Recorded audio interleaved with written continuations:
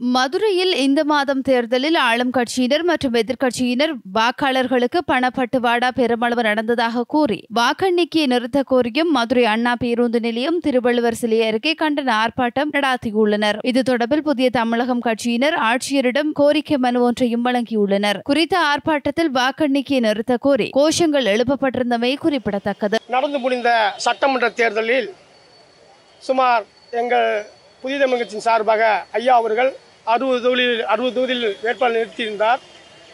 நாங்கள் பொதுவாக தனி தனிச்சையாக தன் ஐயாவுடைய உத்தரவின் பேரில் நாங்கள் நின்றிருந்தோம். அதாவது நடந்து முடிந்த சட்டமன்ற தேர்தலில் வந்து சரியான முறையில் வாக்கு வாக்காளர்கள் வந்து இவங்க வந்து ஆளுங்கட்சியும் எதிர்க்கட்சியும் ச ஐநூறுலேருந்து ஐயாயிரம் வரைக்கும் ஒரு ஒரு வாக்கு நாங்கள் வந்து வெற்றி பெற தொகுதியை பூராதுமே எல்லா தொகுதியும் நல்லா தெரிஞ்சிச்சு இவங்க ஒரு நாலு நாளைக்கு முன்னாடி வந்து அவங்க வந்து பணம் கொடுத்ததுனால எங்களுடைய வெற்றி வாய்ப்பு வந்து பாதிக்குது. இதை வந்து இந்த வாக்கு இன்னைக்கு வந்து ரெண்டாம் தேதி வந்து என்றதை வந்து தே இந்திய தேர்தல் வந்து கண்டிப்பான முறையில் வந்து ஜானா எப்படி நடத்துமாறு எங்களுடைய ஐயா சார்பாகவும் எங்களுடைய புதிய தமிழ் கட்சி மதுரை மாவட்டத்தின் சார்பாகவும் நாங்கள் வேண்டி விரும்பி கேட்டுக்கொள்கிறோம்.